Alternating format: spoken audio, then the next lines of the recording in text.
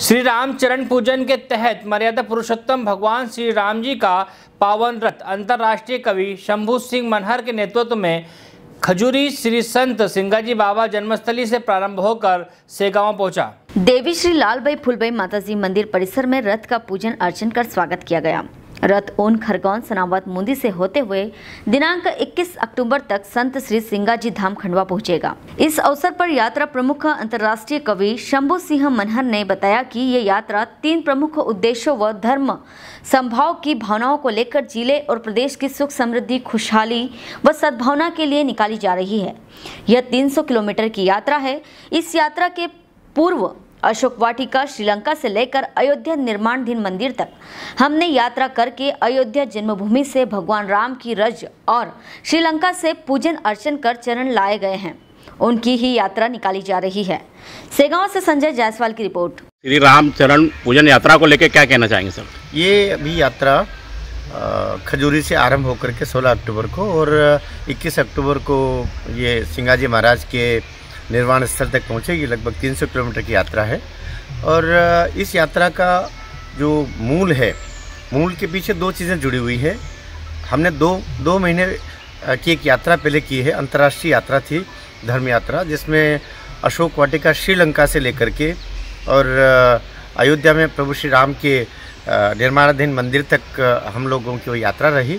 और उसमें प्रभु श्री राम के जो मंदिर निर्माण से जो पवित्र रज प्राप्त हुई, उस रज से निर्मित चरण हैं प्रभु राम के, जो शास्त्रोक्त तरीके से तैयार किए गए हैं। कहाँ प्रभु के चरण में क्या क्या रेखाएँ थी, उसको वो चरण लेकर के पहले हम अशोक वाटिका से लेकर अयोध्या तक गए हैं और वही चरण अभी जो हमें प्राप्त हुए हैं, उनको लेकर के अभी ये यात्रा वापस चल रही है। आप जो चरण देख रहे हैं, ये चरण वही चरण है जो श्रीलंका में, अशोक वाटिका में जिनके पूजन करके लाए गए हैं।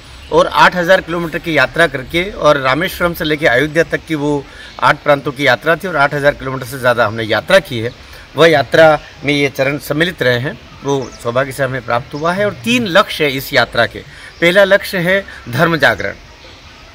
हम धर्म की जब बात करते हैं तो पूरी वसुधा को साथ लेके चलते हैं। इस धर्म में तमाम धर्म भी समाहित हो जाते हैं, जो विवेकानंद की दृष्टि रही है।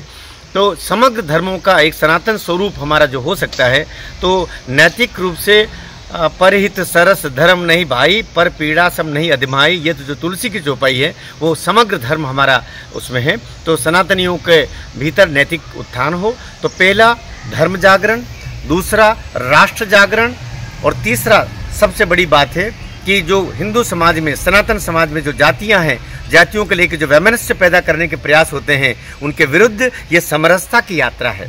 कोई बड़ा नहीं, कोई छोटा नहीं। यहाँ शबरी, निषाद और प्रभु श्री राम के जितने भक्त हैं, वे एकाकार रूप में हमारे साथ हमारे साथ जुड़ करके उस यात्रा को करें जो प्रभु श्री राम ने संदेश दिया था कि वन में जाए बिना हम नगरों को नहीं बचा सकते। अगर अयोध्या बचानी है तो अयोध्या में रह के नहीं, बल्कि हमको सुदूर जंगलों में जाना पड़ेगा।